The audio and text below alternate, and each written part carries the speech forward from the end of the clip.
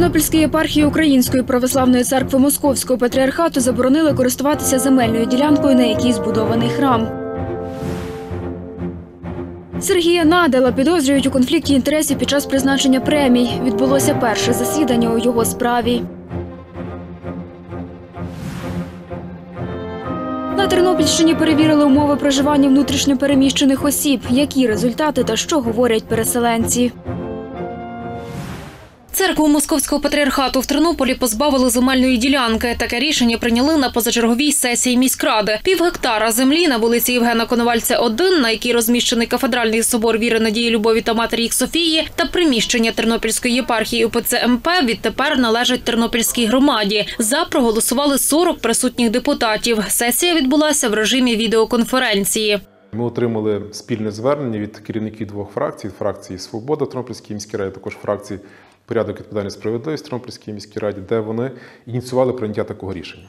Буквально через день ми отримали подібне звернення також від керівника фракції Європейська Солідарність.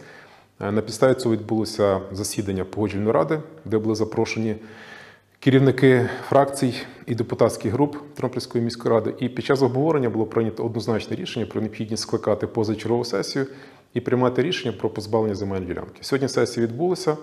Е, Всі присутні депутати одноголосно проголосували за дане рішення, тому від сьогоднішнього дня е, Московська церква позбавлена земельної ділянки, земля знову ж таки у власності громади. Нагадаємо, впродовж двох тижнів тернополяни протестували проти УПЦ МП у Тернополі з плакатами, заляпаними червоною фарбою, дитячими іграшками та простирадлами. Вони збиралися біля кафедрального собору віри, надії, любові і матері їх Софії. Це єдина церква Московського патріархату в Тернополі. Координаторка акції протесту Ольга Данченко сьогоднішнє рішення міськради коментує так. Звісно, що задоволення це власне такий перший е, великий крок, наш перша перемога у цій справі, і ми будемо рухатися далі. Сьогодні також ми робимо збори і хочемо наголосити на те, що віряни і сама церква ще має можливість перейти в українську церкву. Це ос- основний наш заклик до них, тому що пішли в інтернеті такі пости про те, що ми ж там хочемо щось забрати, і це неправда.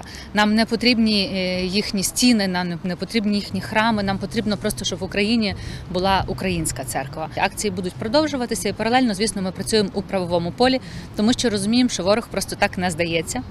Е, Поки що про наші плани, на жаль, ми не можемо розказувати, тому що. Працюють юристи, е, працюють е, інші люди, і ми хочемо розуміти, що це нам забезпечить перемогу вже 100%. Також ми телефонували до секретаря Тернопільської єпархії ОПЦ МП Стефана Балана. Він каже, що з рішенням міської ради наразі не ознайомився, тому про подальші кроки не розповів. Храм ми побудували за кошти прихожан, ми нічого не порушили. Військовий стан для чого розривати ці позбавляти ці рішення приймати, яка потреба, що сталося, якщо ми українська церква, якщо ми допомагаємо збройним силам, якщо ми молимося за мир в Україні і немає ніяких порушень, то яка підстава була, яка причина розривати ці договори? Міського голову Тернополя Сергія Надала судять за ймовірний конфлікт інтересів під час його преміювання. Справу сьогодні заслухали у Тернопільському міськрайонному суді. На початку засідання головуюча суддя Ірина Марциновська запропонувала сторонам сказати вступне слово. Прокурорка обласної прокуратури Тетяна Дедюх прочитала протокол, складений Нацагентством з питань запобігання корупції на Сергія Надала. Суть адміністративних правопорушень полягає в тому, що надав Сергій Віталійович супереч вимогам пунктів 2 та 3 частини 1 статті 28 закону України про запобігання корупції, не повідомив встановленому законом порядку про наявність у нього реального конфлікту інтересів та діючи в умовах реального конфлікту інтересів, прийняв рішення, закріплені розпорядженнями е, за ці дати Тернопільського міського голови в частині визначення собі розміру премії та надання допомоги на оздоровлення, матеріальної допомоги для вирішення соціально-побутових питань у максимально граничних допустимих розмірах. Сергій Надал відповів, що не визнає себе винним. Вважаю, що ті правопорушення, які вказані в протоколі, не відповідають дійсності.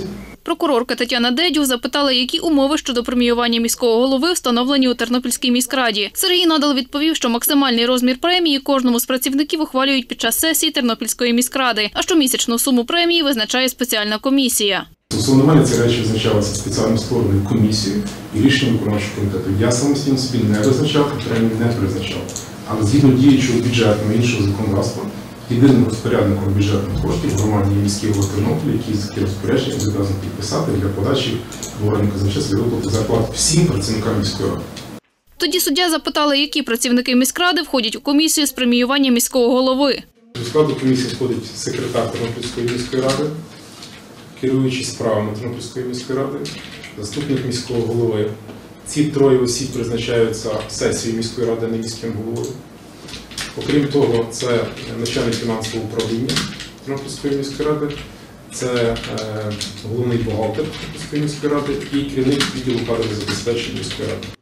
Також Сергій Надал сказав, що не може змінювати собі розмір премії, призначений комісією. Захисник міського голови Артем Облетов звернувся із проханням закрити адміністративне провадження, адже за його словами, у процесі складання протоколу є процедурні порушення. Тоді суддя почала вивчати надані сторонами документи. Серед них розпорядження про преміювання працівників міськради за січень 2022 року. Заступник міського е, голови з питань діяльності виконавчих органів ради Крисоватий е, розмір відсотків це е, премію у відсотках 400, секретар ради Гірчак е, 400 відсотків, заступник міського голови з питань діяльності виконавчих органів ради Остапчук 400 відсотків, заступник міського голови з питань діяльності виконавчих органів ради Стемковський 400%, заступник міського голови з питань діяльності виконавчих органів ради Дідич 400% та заступник міського голови керуючий справами Хімійчук 400%.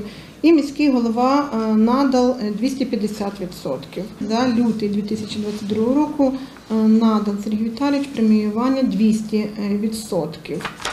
Надалі впродовж минулого року розмір премії Сергія Надала не перевищував 100% посадового окладу. Йдеться у документах, які прочитала суддя. Також Сергій Надал повідомив, що не звертався за виплатами на оздоровлення чи вирішення соціально-побутових питань впродовж 2022 року. Після дослідження доказів прокурорка сказала, що при визначенні премії міському голові він мав звернутися до НАЗК з питанням, як можна уникнути конфлікту інтересів. Проте таких звернень не було. Тож прокурорка просить суд визнати Сергія Надала винним та призначити йому штраф 6800 гривень. Суддя повідомила, що рішення у цій справі оголосять завтра, 18 квітня о 15 годині. Діана Качуровська, Василь Панчук, Суспільне новини, Тернопіль.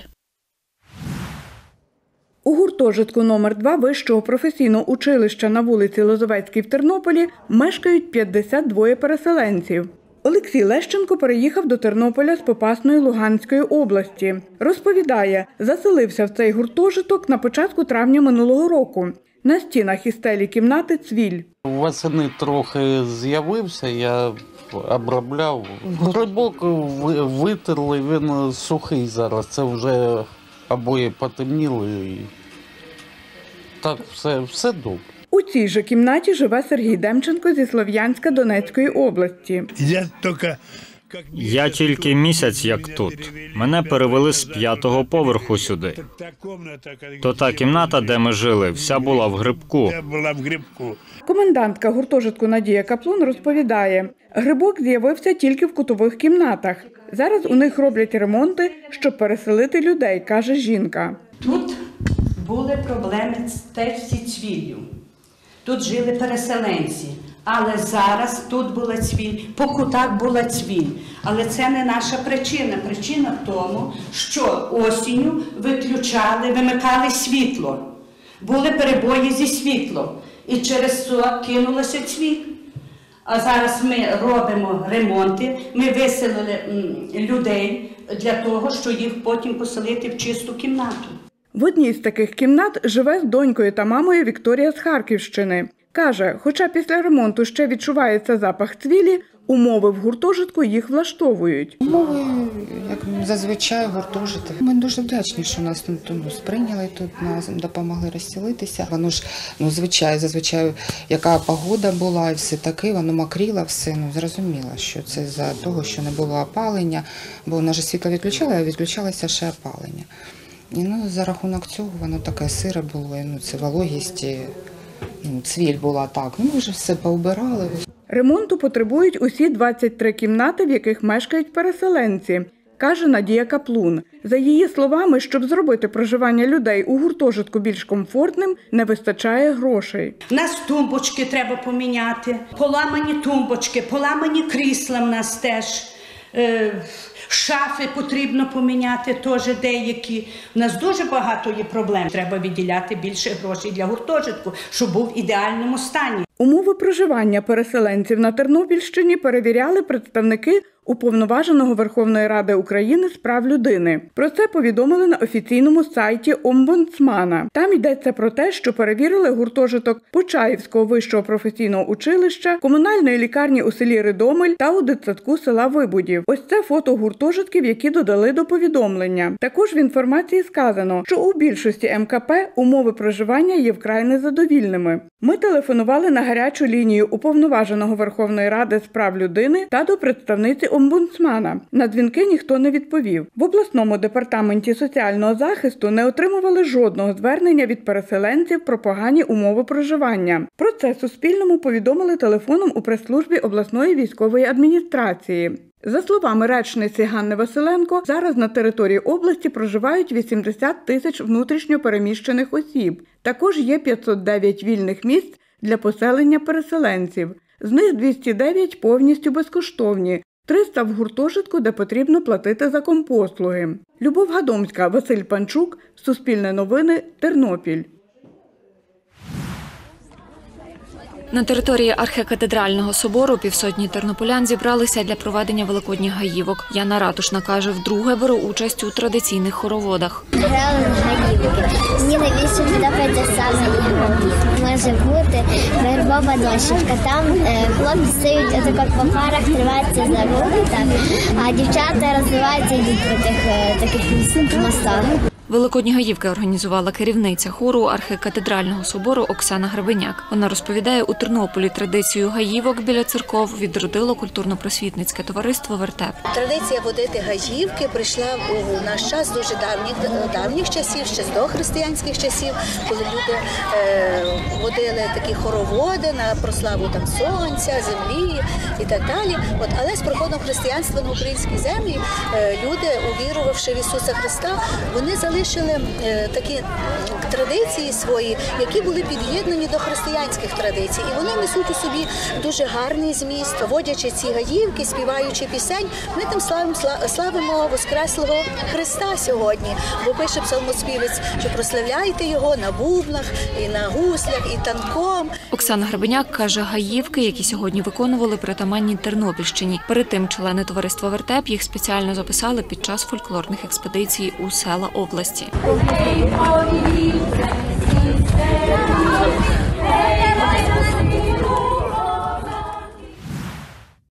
З хвилини мовчання за загиблими в російсько-українській війні розпочався матч футбольних клубів Оболонь з Києва і Тернопільської Ниви. Грають команди на столичній оболонь арені. У першому таймі футболісти не забивали. Після перерви на 51-й хвилині гол у ворота оболоні забив гравець Ниви Роман Волохатий. На 60-й хвилині арбітер матчу Михайло Райда за фол у штрафному майданчику призначив у ворота тернополян пенальті. Воротар Ниви Максим Механів відбив удар з 11-метрової позначки. Після цього гравець оболоні Руслан Черненко забив м'яч у ворота Ниви. Гра завершилася з рахунком 1-1. Грали на перемогу, хотілося, якби налаштовували хлопців на е, бій. Е, Ми вважали, що буде важка гра, але е, проблеми виникли якби, і в началі гри. Було багато помилок, було багато браків, є претензії декілька футболістів, які просто не налаштувалися. Виконувач обов'язків головного тренера Ниви Сергій Задорожний цю гру прокоментував так. Така гра зубата. Але я хлопцями задоволений дуже.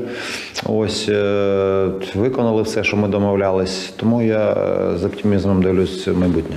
У нас 4 очки зараз, тому маловато. Скажімо так, що там реально составить конкуренцію. Але будемо намагатися в будь-якому випадку кожен матч е, віднімати очки і собі в копилку додати. Після двох зіграних матчів Нива на передостанньому сьомому місці у турнірній таблиці. Наступний матч тернополяни зіграють вдома з Кременчуцькою командою Кремінь. Гра запланована на 22 квітня, розповів Сергій Задорожний. Тарас Бурак, Суспільне новини, Київ.